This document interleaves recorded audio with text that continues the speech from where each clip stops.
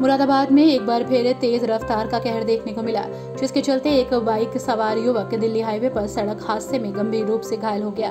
दरअसल, बदायूं जनपद के बिलसी का रहने वाला विशु नामक युवक, जो कि अम्बाला में काम करता है बताया जा रहा है कि विशु बाइक से अपने घर वापस लौट रहा था कि दिल्ली हाईवे पर सड़क हादसे में वो गंभीर रूप से घायल हो गया।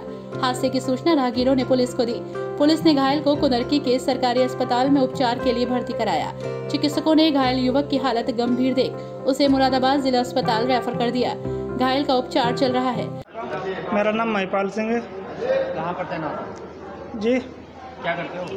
एक से आठ एंबुलेंस इमरजेंसी मेडिकल टेक्नीशियन कौन सा मरीज़ है? कहाँ से लाए जे एक सी कुनरकी से रेफर लेकर आया हूँ। तो जे हाईवे पे एक्सीडेंट हुआ है। बदायूं का बता रहा है बिलसी का? अच्छा क्या नाम है इसका? इसका नाम बीसू है। कहाँ का रहने वाला होता है बिलसी का। अच्छा जिला? हम्म, है मरीज़? हाँ मरीज़ का फ्रैक्चर है पैर में। क्या करता है कुछ पता है?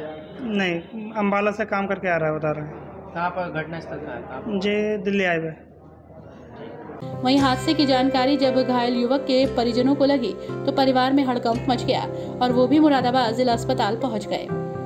युवक के साथ क्या हादसा हुआ ये तो युवक के होश में आने के बाद ही पता चलेगा।